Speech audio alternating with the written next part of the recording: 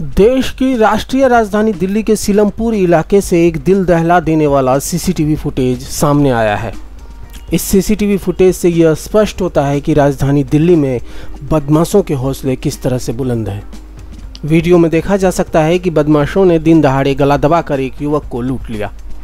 बदमाशों ने छोड़ा तो युवक तड़पता हुआ नाली में जा गिरा, जिससे उसके सिर में चोटें आई है।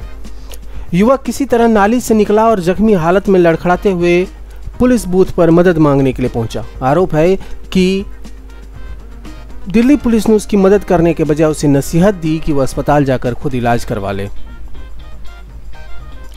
शिव विहार निवासी रावेंद्र सिंह की जेब में पैसा नहीं था। वह किसी तरह से जग प्रवेश चंद अस्पताल पहुँचा और इलाज करवाया। उसके बाद सीलमपुर थाने पहुँचा।